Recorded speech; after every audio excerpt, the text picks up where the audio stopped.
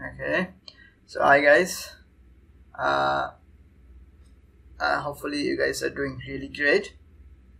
So today I'm here uh, with a great hack that will save your time uh, with with Git and maybe a cloud uh, a remote Git server. Uh, uh, for example GitHub or Bitbucket. So what you, you do with uh, with, with, with the Git a simple Git platform with a remote one as well.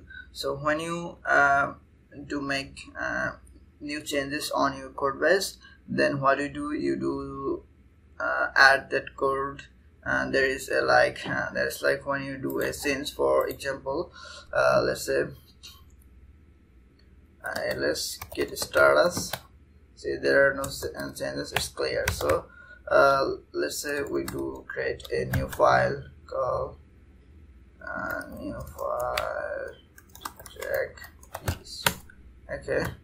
Uh, let's say we, we, we, we create a new file.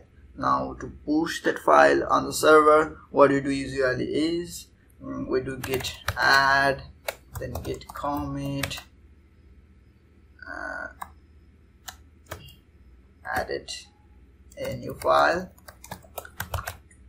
then git push right? New and then afterward it will go to server. So uh, uh, the, the, the, there's total three steps that you have to do three commands you have to put to uh, complete the total process right? But I, I know that uh, you can do this with a graphical manner easily by using by using their the git uh, GUI software uh, graphical user interface software. But if you are like me you like to uh, work with um, work with uh, command line instead of graphical user interface and you love to do work with CMD uh, I mean command line then there you go. I got a solution for you to get this part easier so what we'll do is we will write a function. We'll write a bash function that will have this instruction inside it. And we will throw a parameter as the commit message so how cool is that?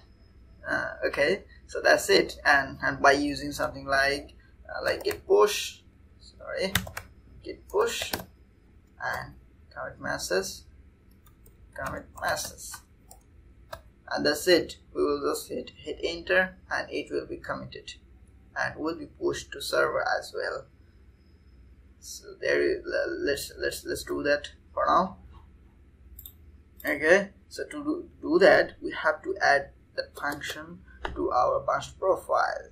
So for that let me open the bash profile first to a code editor. You can open it uh, by using uh, the the command line code editor like Vim uh, and any other that you prefer. But I would look I would like to open it with the VS code. Let me do it quick. So here and that means you're on the root directory and slashes that bash profile. So here it will be your file so in case if you don't have the file then you can you can create it. That's that's totally okay. And so okay let's hit the enter button and let's see what happens. Okay there's a VS code update. I'll do it later boy. Okay yeah uh, i tried and tested that function and uh, kept add as commented so that i can show you uh, quickly. Yeah here's the function that we wrote. Um, so now this is the function and the first what the function is doing is git add git commit and here is uh, here is the dollar sign and one. That means uh, it will receive a parameter and here git push you or is it master. Okay so here it will do all the work for us. So if you wish to uh, push to a another branch instead of master then you have you will have to um, use another parameter as well. So that's it. We wrote that function. We save it. We close it. And now to test that function first we will we will have to uh, enable it. Otherwise we'll have to restart the PC we'll have to put another command to uh, enable that profile here. Okay so for that we have to do this first profile. Okay that is enabled for now. Okay that's it. Okay so now now now just let me check if there is a remote host for this. So suppose we test. Okay there is a is one. Okay let me just hit push if the commit message oh sorry. Start us I think I need to add one more file. Okay let me just do it. Just just another file. This git push. Here. One more file. As test pass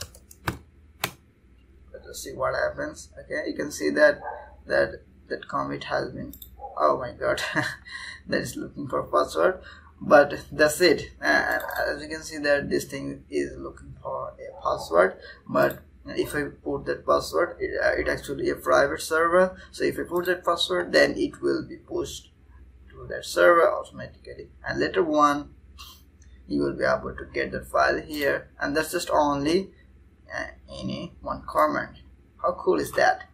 Okay so that's it for today. Uh, I'll, I'll be showing you another great way to do the continuous deployment uh, to cpanel okay so like uh, uh, like the traditional way we do uh, uh, we used FileZilla and all other things. That's total crappy and very shitty things. I will show you the best and perfect way for you and the easiest way of course to push your code directly onto cpanel by using git. So you have to push just here and the code will be live on your cpanel how cool is that? Okay? Okay guys thank you so much for checking out. I will show you. I'll come with that video later on sometimes. See ya